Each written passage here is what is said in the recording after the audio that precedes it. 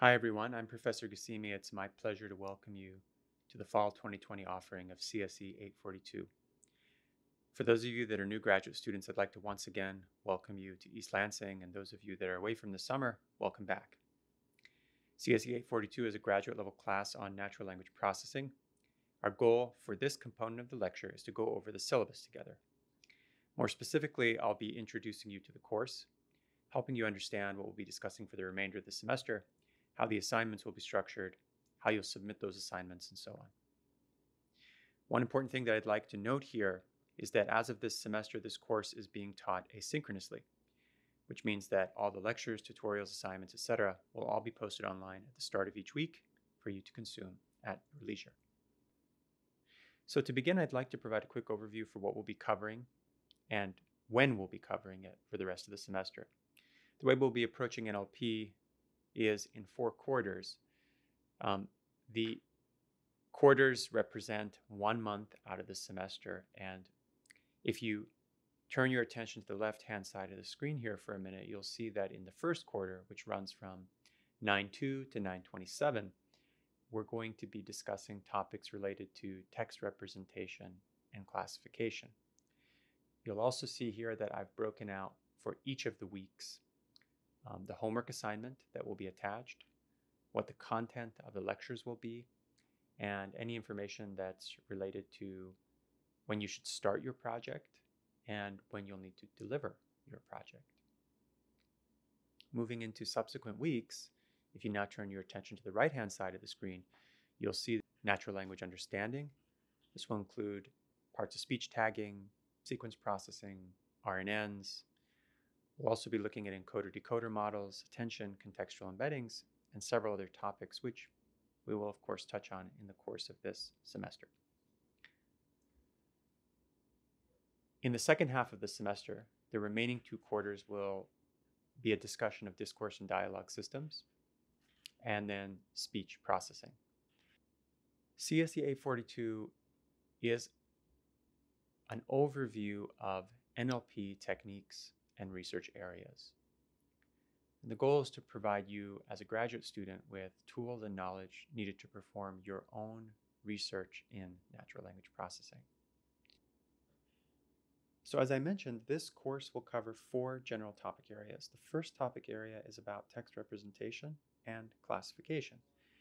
This section of the course will be about how do you pre-process and represent text for use by classification models. So for example, kinds of things we'll be doing in this first quarter of the semester is looking at sentences like the example I have there on the right-hand side, every day is a new day, and figuring out how we take that string of words and cast it as a numerical representation. For instance, the count of um, the distinct words within the sentence. We'll also be looking at operations that we can perform, simple kind of pre-processing approaches that help us transform the text so that it's useful for a broader variety of cases. For example, eliminating capitalization when it's unnecessary and words that don't contribute much to the meaning of the sentence so that we can use this ultimately for the purposes of a classification task. Natural language understanding has to do with how to extract structure from text, represent knowledge, and perform reasoning. So consider, for example, the following sentence on the right Jim's pants are blue, Jim wears a hat, all hats are red. Well, we'd like to be able to take a sentence like this and perform some thinking about it. We might want to know that um, there's a subject, for example, in this sentence. That subject is Jim. And that Jim has some properties, such as Jim has pants and Jim has a hat. And we might want to be able to assign certain subproperties to each of those properties, such as the fact that the pants are the color blue and that the hat is the color red. Now, there's as you might see from this particular example, some first order reasoning that's taking place here because we said that Jim wears a hat and said separately that all hats are red, which implies that Jim's hat is also red. So we'll be speaking about this kind of process, natural language understanding, and the methods that are used to perform this in the second quarter of the semester. In the third quarter of the semester, we'll be speaking about discourse and dialogue systems. So, this is how to build systems that understand and interact with human agents. For example, let's say we have the string uh, that comes from a chat system or a text message between people. I'm feeling social. What should I do? No, no, wait. I think I want to stay home. And let's say we want to do something useful with that information, like determine if the person is actually feeling social or they're feeling reclusive. And on the basis of that, give a suggestion about what sorts of activities the person should do. So this kind of problem is within the domain of discourse and dialogue systems. That's what we'll be covering in the third quarter of the semester. So, in the fourth quarter of this semester, we'll be speaking about speech and language systems. Specifically, we're going to have a discussion about how you build systems that represent human speech. Um, we might want to, for example, figure out how, in the presence of noisy or odd forms of speech, such as the Laurel uh, Yanny example, which is uh, kind of a famous one. How do you take these spectrographic information or auditory waveforms and transcribe them into some kind of uh, text format that you can use for the purposes of displaying to a user, answering a query, and so on and so forth. So, the way this course will be structured is roughly half theoretical lectures. So, I'll be presenting slide decks like this. And then the other half will be hands on tutorials where I'll be taking you through IPython Notebooks Live. There's about two and a half hours of content per week. Half of the content is going to be lectures, and the other half is going to be tutorials. And we're structuring the course this way because we'd like to help you obtain both theoretical mastery as well as applied skills by the time you've completed the course.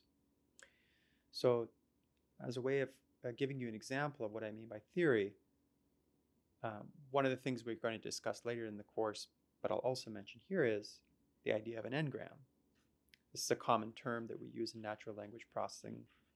Well, all an n-gram is is a contiguous sequence of n items from a given sample of text or speech, and these items can be phonemes, symbols, letters, words, etc. So, for example, the first two words in that sentence are a bigram. The next two words over couplet are, are also a bigram and so on and so forth. But bigrams or trigrams could also be in the letter space. It could be the first three characters of the string that I have there on the left-hand side of the slide. Um, and then it could be the next three characters in that string and so on and so forth. And these, these grams are ways that we sometimes group language or words or characters to come up with what the individual features will be when we want to represent language for later processing. So when I say that we'll be doing theoretical components to this lecture, I'll be taking you through things like this. Okay, so as I mentioned a little earlier, this course will also have a practical component to it. That practical component will be embedded within IPython notebooks that will be shared in the course's GitLab repository, which you should all have access to. Um, I will step you through, actually, as part of this first lecture, how to obtain access to that repository, how to navigate it, how to pull from it, and so on and so forth. But those tutorials are going to contain, as you can see here on the screen, uh, real practical examples of how you do NLP analysis in the Python programming language in this case, such as how to tokenize text, how to compute bigrams, and so on and so forth. So this course is homework and project based, so there are no exams. The homework is worth 70% of your grade, and there's 14 graded homeworks in total. There's actually 15 homeworks, but homework zero, which is going to be due by the end of this week, is not for any kind of credit. It's just an assignment that you do to acclimate to the course and understand how to submit GitLab issues, and uh, interact with the materials.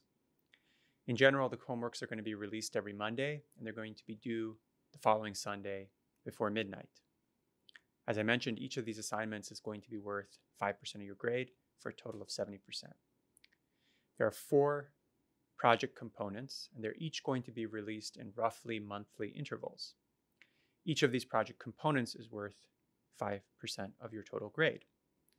And then the last 10% of your grade is from the final report. This is a summary of um, what you found in your project written as an academic paper. And ideally, you should be able to take your final report and submit it to a scientific conference or venue within the field of natural language processing.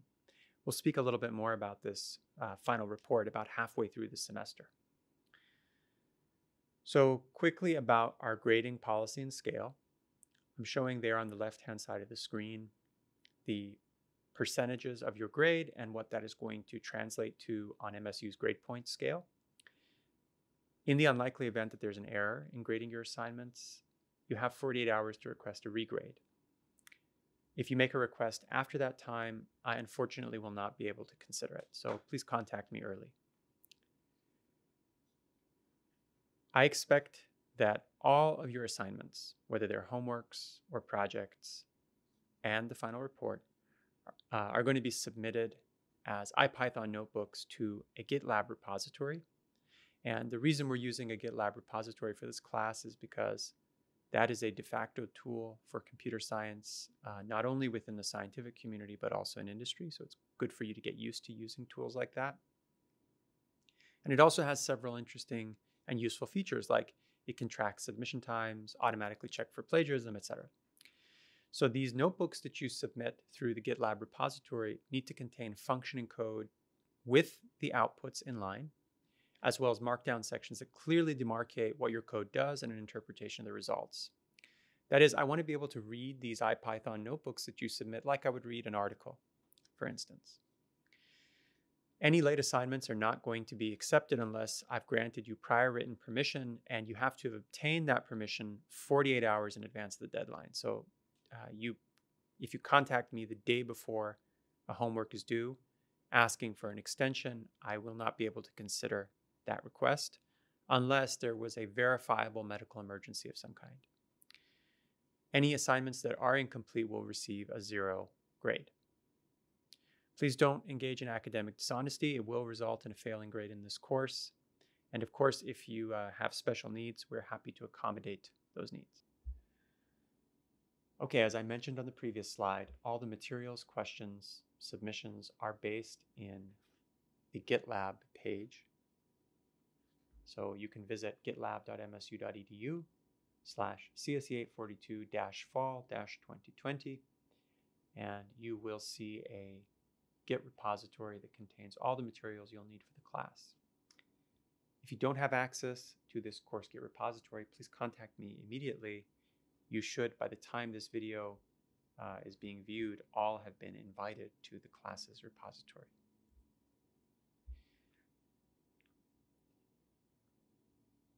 If you have questions about content, you're more than welcome to submit questions um, as issues in GitLab. And uh, that will just make it easy for me to kind of keep track of your questions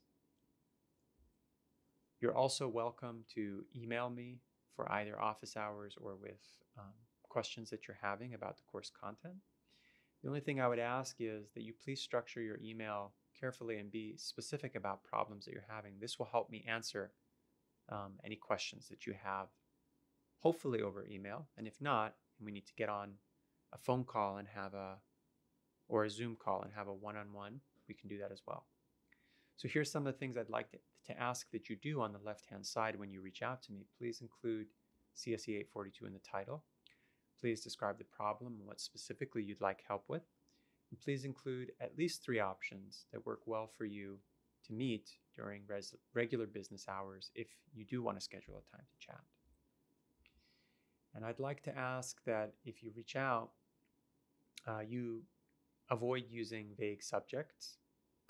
Um, being vague about what you're struggling with or forgetting to include times when we can connect because it will be harder for me to prepare to help you when we meet if um, what you're struggling with is not very specific.